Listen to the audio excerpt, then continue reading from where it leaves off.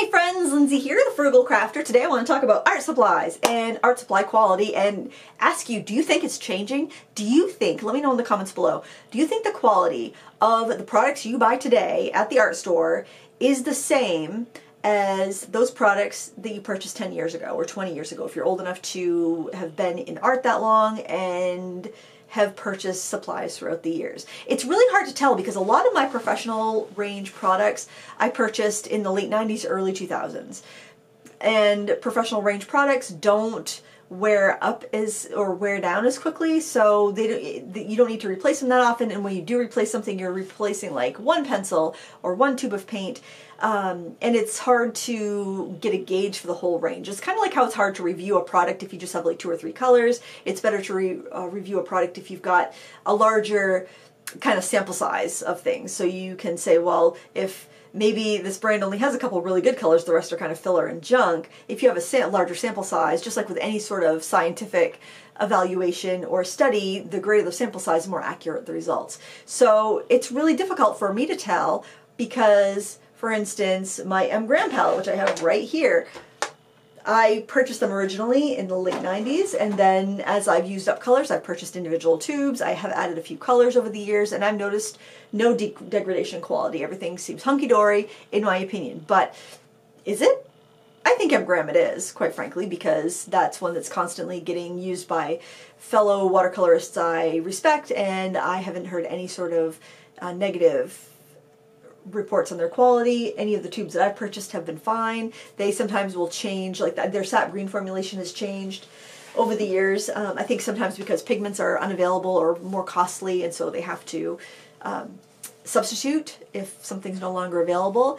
If you don't know how pigmentation or how pigments are available for art companies, we're kind of like the last rung in the ladder, meaning plastics companies, automotive companies, appliance companies, these manufacturers are going to have first dibs on color and for factories to produce colors because a lot of our pigments are synthetically made. We have, we have there's natural organic pigments like laked pigments that come from flowers and plants. There's natural organic pigments. Those would be uh, like minerals that were mined. Then you have synthetic organics. Those would be like your quinacridones and your phthalo colors. You have synthetic organic uh, inorganics, which would be like um, uh, your iron oxides, your red iron oxides, your yellow ochres, things like that that were made in a lab rather than mined from the ground. So you have your organic and inorganic pigments and they can be either natural or synthetic. So with the synthetic ones, if a factory doesn't have the demand to make them anymore, they're going to stop manufacturing them and they're going to move on to something that's more popular. And I wonder how these factories are doing because it seems to me that when you go to a car dealership, you've got so you have very limited choices as far as car colors to pick from. There's mostly lots of gray, um, dark red, uh, black, white. It seems like those are the major colors. Maybe like uh, I'm going to say silver, but it's more gray. Seems like seems like you, those are the primary colors. You might occasionally find a navy blue, but that was probably from a couple of years ago. It seems like they're really limiting their color choices, and probably to make it easier for people to decide and not to have any cars that are too offensively colored that people wouldn't want to purchase. Like maybe somebody doesn't want a bright yellow car or a bright orange car or a bright blue car or a bright red car. Well, red is usually still there, but um, and if the the demand goes down for those colors, then the demand the pigment demand is going to go down, then pigment factories will stop making them and then it doesn't they're not available for artist pigments anymore. The artist pigment market is not big enough to demand these colors be made. So i'm sure when avocado appliances and harvest gold were the thing. There is no problem getting quin gold pigment. Quin gold is one of those colors that they've stopped making because of lack of demand. And that does send people into a frenzy. So sometimes colors are no longer available for that reason. And then sometimes mines do uh, get used up. So in the case of natural uh, or inorganic pigments and mine could just get used up or uh, uh, material can be way too rare to be using in paints anymore. I'm seeing a lot of companies go away from cadmium, and I don't know if that's in part of, I know it's uh, health and safety that people don't want to, a lot of people don't want to paint with cadmium paints because of the perceived health um, problems that could come from using paint and I say perceived health problems because quite frankly, and I'm not a doctor, I'm not a scientist, but coated cadmium pigment particles I don't think cause cause that much of a threat. unless you are spray applying them and you're breathing them in. But every cadmium tube will say do not spray apply. So unless you're unless you're not paying attention to what you're putting in an airbrush or a spray mister, or and you're eating around your art supplies, I don't think it's that big of a problem. I think you run a greater risk of ODing on uh, any over-the-counter cold and flu medicine or aspirin than you do any of your art products. Especially if you're using them as they're intended, I would think the risk would be pretty much zero. But there is that implied danger to it, uh, as well as with cobalt products. But I think that manufacturers, and this is just speculation, this is all alleged, don't sue me. I'm not saying this for sure because I'm not a scientist, I'm not a chemist, I don't work for any of these companies.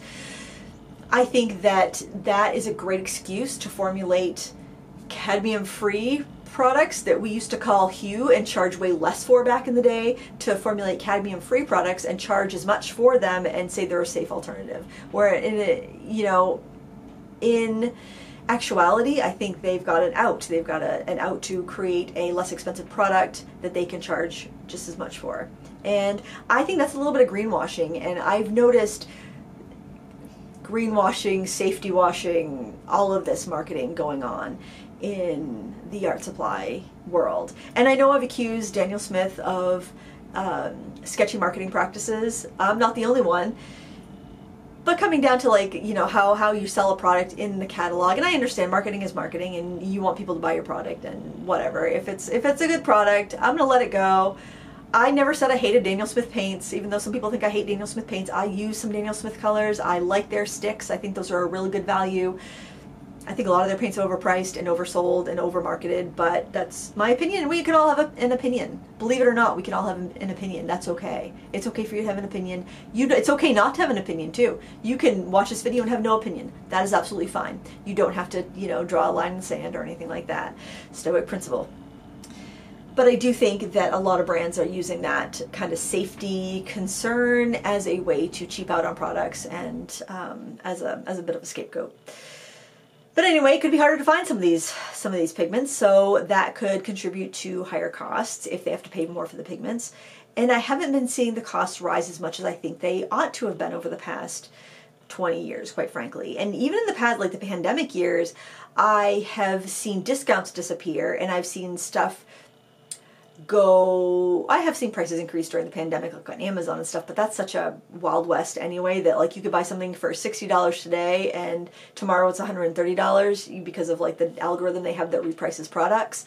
If something gets popular if I review a product and it's a great deal then I can almost guarantee tomorrow it's going to cost $20 more because once something gets more popular and hits a certain sales limit, you can trigger things so that the price will go up they will determine how fast something's selling for the price that it is and see if it needs to go up or down. It's uh, it's kind of crazy. It's a and it's all just an algorithm. It's all just uh, like an AI thing basically. It's pretty it's pretty impressive when you think about it, but it's also a little diabolical too.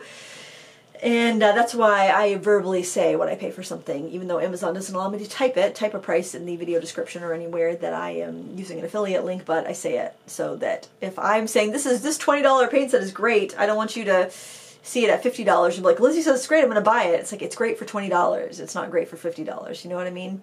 And that's the other thing. You got to take reviews with a grain of salt because if somebody is reviewing a product that they know and love and they've had in their stash for 10 years, and they're you know telling you how great it is and you go to buy it but the quality has dropped. Yeah it's really hard to trust anything anymore. And i'm almost um, you know i'm i'm hesitant to review anything that i haven't just recently purchased because i don't know how something is now if I bought it 20 years ago. Like my, my watercolor crayons. Well, Caran d'Ache watercolor crayons are still fantastic. I've bought some a few open stock and replaced them over the years and I haven't seen any um, decline in quality. But my set of 84 I purchased in early 2000s and because I have so many, they you're not using up a stick. It's not like you have a set of 15 and you're using up a stick and you're buying, you know, more frequently. You know, you're going to get just the right color. You know, you just they're going to wear so slowly. Wear slowly anyway. And then you have this such a large variety. You're not going to use any one up too quickly. If you do, you know, uh, it's going to be like a white or uh, I don't know whatever the, your go-to colors are. But it's still it takes a long time to use one of those up. So by the time I use one up, You know, it, it could be decades. And if I was to review those Neocolor Color 2 crayons, I would almost need to go and buy a whole new set just to make sure that the quality hadn't declined. And also because I have this nostalgia clouding my judgment, I've used these for decades. I love them. They have, I've done so many paintings with them. I know them inside and out. But a change could have happened within those times. And same thing with, with any legacy product that I own. That's why you don't see too many legacy products reviewed on my channel, even if you see me use my M. Graham paints. I don't think I've done a review on them because well, I don't know. Polychromos pencils. I've had them for a long time. They're not my favorite. Um, and they're good. I can objectively say they're great pencils. I don't think they've changed in quality, but I haven't used any of them up, so I can't tell you I haven't bought any recently, so I would be reviewing 20-year-old pencils that are gonna probably gonna be a little bit different just because of pigment changes. Pigments go extinct and they have to get different ones, or they get really expensive and they have to get different ones. And um, I guess, I guess this is such a weird video to put out there, but I got kind of skeptical where prices weren't going up like it seemed like they should. So if prices aren't going up, how are prices staying? How how what's happening with these products? If a price doesn't go up over 20 years, then either it was really overpriced to begin with, or they have done something to control how much it costs to make this product. Either they moved their manufacturing to a country where the workers are paid less, or they're using products that are less expensive, or both. I think in the case of, say, Winsor Newton with the Cotman watercolors and their watercolor markers, I think both. They're not quite as pigmented as they used to be. The um, the Cotman watercolors, I don't think they're as pigmented as they used to be back in the late 90s when I first started using them. And also, uh, they haven't gone up in price at all, really. So they've gotten cheaper, in fact, and some like some of the sets you can buy, they're cheaper now than you could get them back in the late 90s. And they're made in China since the last uh, uh, six or eight years or so. So it makes you wonder what's happening with other products. Is this happening with other products? Uh, let me know. I'd love to kind of crowdsource, hive mind this.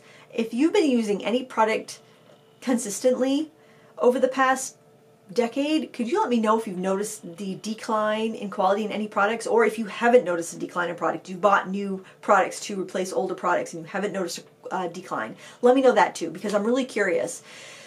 Someone like me who's a mixed media artist and a crafter who, who uses a ton of different stuff and might not finish anything up, might not use anything to the end, so really has to replace stuff. I don't know. I don't know. It's really um, it's really it's something I've been really curious about. So I think we need to hive mind and crowdsource this and and just find out what's still good, what's no longer good. Um, like for instance, some recent products that I purchased, Golden Open acrylics, they're wonderful. I'm not a huge acrylic painter, so I don't feel um, I don't really feel knowledgeable enough to give a lot of advice on acrylics, but I will say golden open acrylics work great for me because I enjoy painting with oils and they're more like oils. They dry slower, so I feel much more uh, comfortable with them and I, and I enjoy the process a lot more than painting with paints that dry quicker.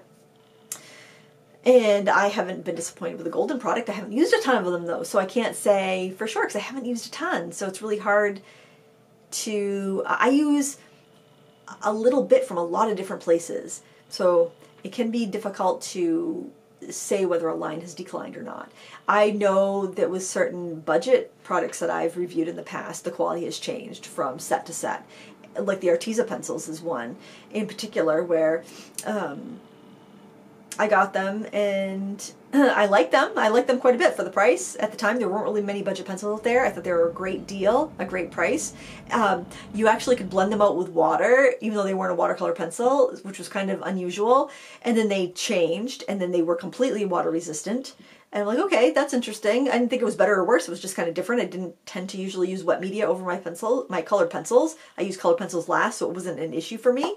And then um, during the pandemic, they changed again, which uh, I didn't have the ones that came out after they changed again, so I couldn't really compare and tell whether they were better or worse. But I don't know, they could have been more weakly pigmented. It sounds like they maybe went to a different factory or had to use a different base for their product. But that was one. Pagos pencils were another one where I love the ones that I got to review and they were sent to me to review. So I don't want to accuse a company of sending a different quality product to a reviewer and sending cheaper products to an Amazon factory. I hope that doesn't happen. It seems like that would be an awful lot of work to do that because I can't imagine you can make an affordable run of pencils being less than like 10,000 or something. I would assume maybe they they started off with a run at factory A and then maybe got a better price at factory B and then switched their operations over or skimped out after that original. I would hope a company wouldn't skimp out after the original line and then be like, okay, we've got all these fans, we've got all these great reviews, now we can cheap out and people will still buy our stuff. I'm sure it happens, but I wouldn't accuse a company of doing that on purpose. I think a lot of companies don't really know what companies that are doing the budget supplies don't really know what's in their products is my assumption. For instance, um, one company that I reached out to, I had um, I bought the set of 48 on Amazon because the price was like it was like $15 for 48 watercolors. I'm like, for that price, even if the paint's junk, I could just save the palette and it would be worth $15, just the metal tin and the, the half pans, totally. So if it's junk, I'm not really out anything because I need a palette. I, I, always need extra palettes because I am a watercolor hoarder and uh, don't send help. I am, I'm, I'm fine with it, I guess. So I figured that was fine. And then I did a um, I did a video for them. They hired me to do a video and they sent me their 36 set. The paints were completely different. The paints were um, were more transparent. They were more like they were. I, I think they were superior watercolors, and the um, the 48 set were the same kind that like Hobby Lobby sells in their Master's Touch tins and like they started this 36 set is so much better and they didn't they're like as far as we know it's the same they didn't know that if there were different factories involved they're just you know, oh, of course, I was dealing with probably their advertising department and not their manufacturing department. But as far as I know, it's the same paint, just different sizes of palettes. And if the the company doesn't really know what's going into the paints, then how can there be any sort of quality control? So it is kind of a crapshoot out there when you're buying budget supplies on Amazon, and I'm very nervous about about reviewing them because I could get a great batch and then six months down the road it could be different. So I always recommend people look at the most recent reviews, filter your reviews on Amazon by most recent. And if the reviews are recent and they still look good, then awesome, go for it. If the reviews are different, then they've probably changed factories. And I say that because a lot of people review products online, and I think most of us have good intentions. We want to make sure people are spending their money wisely or avoiding products that aren't going to do what they need to do. I don't want my reputation tarnished because somebody buys a product and it's junk. I don't. I'm not going to trade. Um, uh, I'm not going to.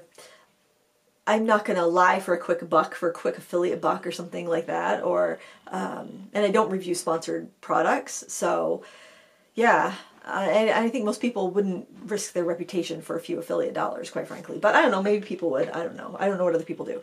But the like the art reviewers that I know, I don't say personally. Like I mean, like we talk on online sometimes or or chat on Messenger or something. But like Art Gear Guide, he's very trustworthy. He would never uh, fib about a product. Kimberly Crick, who I don't really know other than just commenting on her videos, she her website and reviews are top notch. She would never, in my in my opinion, she would never mislead anyone. Um, and there's there's a lot of reviewers like that. Uh, Dr. Otto Kano, I don't think she would mislead anyone. She's got a big database on her website that I would highly recommend. Um, I don't know Jane Blundell, but she has a really extensive watercolor database on her website that wouldn't steer you wrong. Doodle Wash has a lot of reviews on his website that different reviewers put out there. Um, I don't really, I don't know the reviewers though, so I can't really, um, I can't really say, but for products that I have that I've read the reviews on, they seem to be on, on board. So they seem to be above board. I would think anybody that uh, Charlie O'Shields would deal with would be above board, would be a good, uh, a good ethical reviewer. And yeah, there's no affiliate links on that website, so I would, I don't think there are anyway. So I would totally trust those reviews. Um, so yeah, I guess it's like nowadays more than ever with art supplies, you need to do your research unless you're unless you're a gambler, unless you just want to gamble and and go for it and try and see what you get. Uh, you really need to do your research these days more than ever and look for those most recent reviews and um, make sure that that you trust the reviewer, I guess. And yeah, because I do think that that quality has been going down and I can't and it's so subtle that I can't even really put my finger on an exact point on where quality started to decline or what particular products have started to decline, but it does seem like when I open a new package of something, it's like, was this as good as it used to be? And maybe it's just nostalgia playing tricks on me. You know, that could definitely be it. You know, you taste a food that you had as a child that used to taste so good and it doesn't taste good anymore. But then again, like I, I remember eating tomatoes as a child and them just being so full of flavor. And now I eat a tomato and sometimes I get a good one, but most tomatoes are just so bland. It's almost like that's what's happening. It's it's like with food and the goodness of it, the richness of it, the nutrition of it, the flavor of it used to be so intense and so rich. And just over the years, it has declined and we do know nutrition in our food has declined. We've heard that light fastness on like PY3 has declined over the years. Why is that? Why is that happening? Is it the pigment? Is it extenders that have been put in the paint? Have factories done something different to the pigments that they're selling to art makers that has stretched the, that has given the color payout but somehow lessened the, um, the structure of the paint so it can last. Maybe there's been some, um, some sort of brighteners in there or some sort of uh, color boosters in there that have given us that color payout we want, but have had the cost of decreasing the lifespan of the color. Who knows? There's just too many variables here to say for sure. But have you noticed that? Have you noticed that like you get a set of a certain brand of paints and oh, they're just not as good as they used to be? Or maybe I'm just pickier. I don't know. I don't know. We need we need to get on this hive mind. Come on. Come on, hive mind. Come on, my uh, my coll our collective brains. Well, let's buzz around and see if we can figure out what's going on. And uh, let me know what you've experienced because I'm really curious about this and I don't have a definitive answer. I don't know. I don't know. And so I'm asking you, what do you think? Do you think the quality's gone down?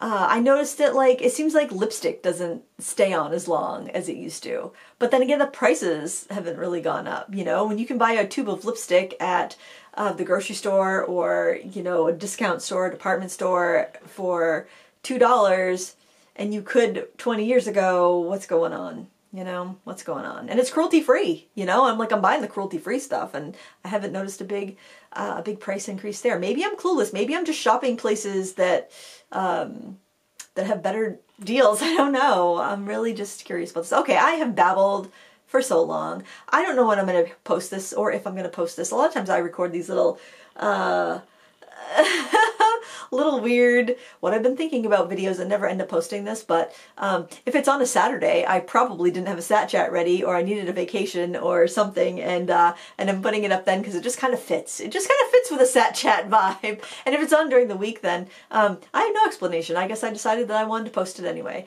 So let me know what you think. Let me know what you've noticed and uh, let's see what we can find out. Even if it's all causational, cor- correlational, even just all correlation and no actual facts. I don't know. That's how I run things here. No actual facts, just opinions. Isn't that what the internet is, honestly, if we, uh, if we have to be honest? Anyway, that's all. Stay zesty, happy crafting, and uh, we'll see you next time. Bye.